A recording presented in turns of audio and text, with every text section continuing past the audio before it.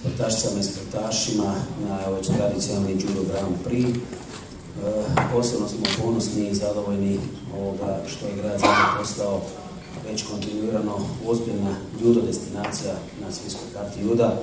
Ponosni smo na to, siguran sam da će sportašice i sportaši iz grada Zagreba otići s najljepšim emocijama, a vjerujem da će naše ovo sportašice i sportaši polučiti odlične rezultate. Iz grada Zagreba, iz naše arene, odu sa najboljim emocijama.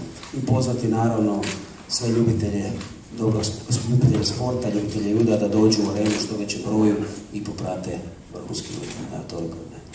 Meni je uvijek velika, velika čast i zadovoljstvo boriti se pred domaćom publikom, stvarno volim takva natjecanja.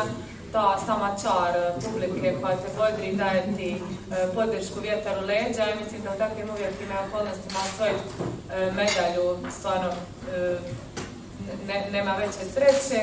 Evo, pošto je i Viki rekla, ove godine je Grand Prix iznimno jak, s oko 500 natjecatelja, tako da ne želim stavljati nikakav pritisak na sebe.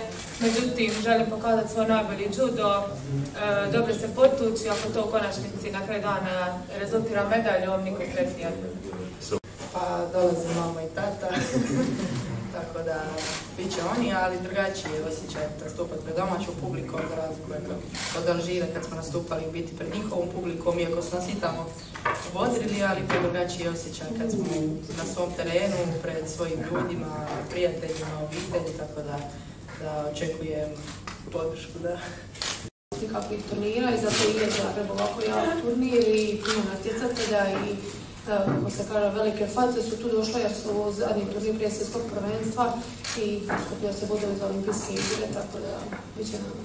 Stvarno već komentirala s nekim u Budimpeštu da stižu u Zagreb i stvarno svi koji s kojima sam god pričala sve su rekli da jedva čekaju Zagreb i čak su me pitali šta imaju vidjeti po Zagrebu jer su dosta njih direktno iz Budimpešta dolaze da vamo i već su koji dan u Zagrebu i stvarno se svi vesele Zagrebu.